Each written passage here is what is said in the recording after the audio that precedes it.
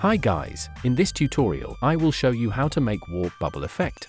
Duplicate the video and grab Roto Brush tool. Double click on your video and make a nice selection of your car. Press freeze button as you finish selection. Go back to composition.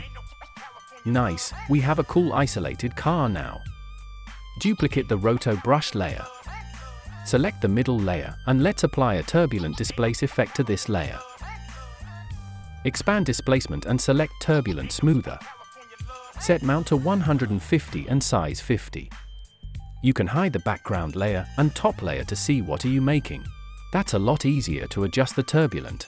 Play around with settings or copy mine.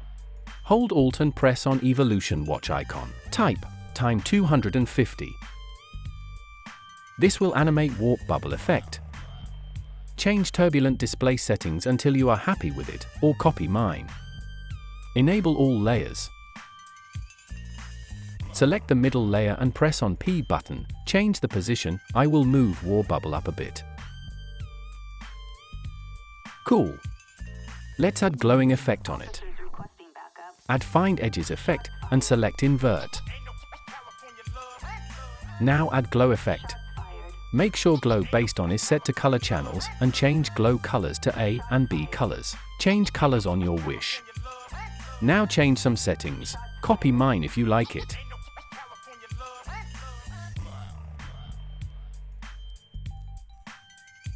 Let's animate warp bubble. Go a few frames forward press P on your keyboard and set a keyframe for position.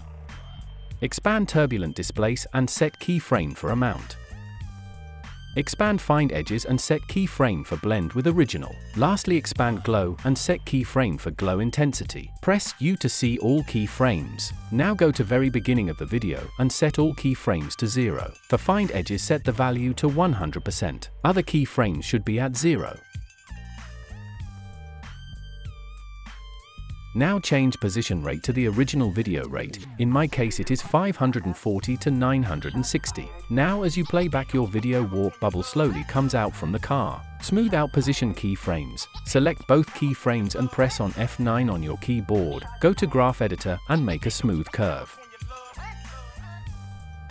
Copy and paste keyframes to the end of the video. So warp bubble comes in and goes out. Copy keyframes for other effects as well. Press U to see all keyframes and copy and paste them to the end as well.